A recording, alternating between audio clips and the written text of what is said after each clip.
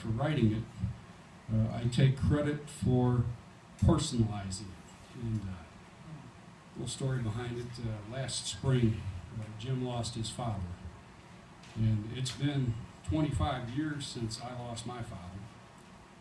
And it kind of brought back uh, a flood of memories for me. In fact, uh, quite frankly, when my own father passed away, I was a pretty busy guy raising kids and taking care of him and taking care of the estate and trying to keep a job and trying to keep my mind. And it was uh, it was a busy time. And uh, I took about two months off of work to take care of him. By the time we got back from the funeral, I had to dive back into work. At least I, I thought I had to dive back into work. It's what I did either way. And I never really took time to uh, grieve my father. And so those feelings just kind of sat there for 25 years. And uh, when Jim's dad passed away, you know, I spent some time talking with him about that. And uh, remembered an old Steve Goodman song that he wrote as a tribute to his father called My Old Man. And uh, that's a beautiful song, but it was about his dad. And uh, so I kind of rewrote it and changed the lyrics up to reflect my dad. So here goes. I miss my old man tonight. I wish he was here with me.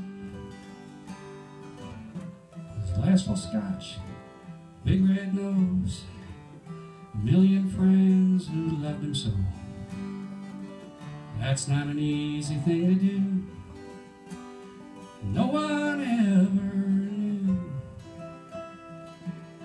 more charming creature in all the earth.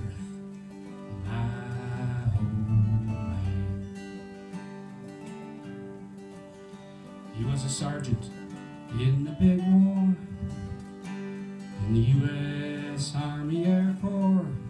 In the B-17 heavy load. He helped to free Europe from Hitler's hold. When the war was won, he came home and married mom. First came my sister, then came me. He was our old man. Even when we was bad, you know he hardly ever got mad. He was so full of wisdom I had my doubts. I thought I knew better, so I tuned him out. Now the old man is gone, and I give all that I own to hear what he was saying when I wasn't listening to my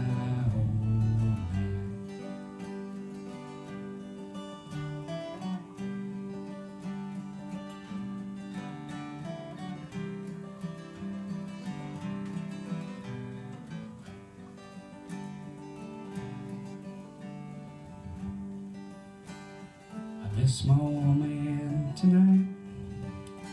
I can almost see his face. He was always trying to watch his weight. He almost made it to 78 for the first time since he died. Late last night I cried. I was wondering how I was gonna do that